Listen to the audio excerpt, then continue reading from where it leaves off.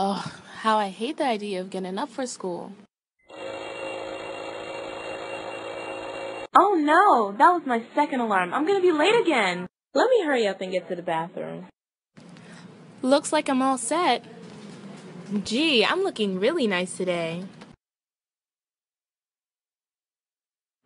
I'm Tip, in case you're wondering. Do you hear that? Hello, friend. What? Who are you? I'm friend. Your friend. You are not my friend. I don't even know you. That's not nice at all. Whatever.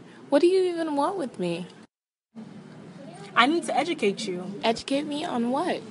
The STEM fields. Just follow me. Um, okay. So what about the STEM field? It'll lead you to a satisfying How future. so? Tell me more. Well, hopefully you enjoy science, engineering, technology, and math. Well, I love math and engineering. That's great.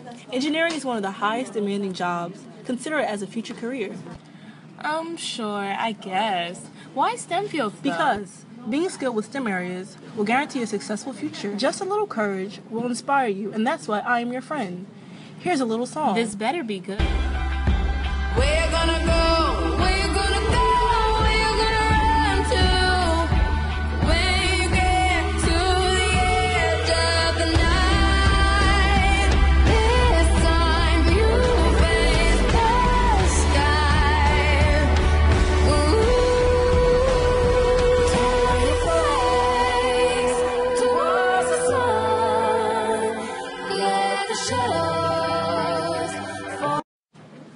Interesting magazine, right? Yeah, I guess. Engineering is really the best.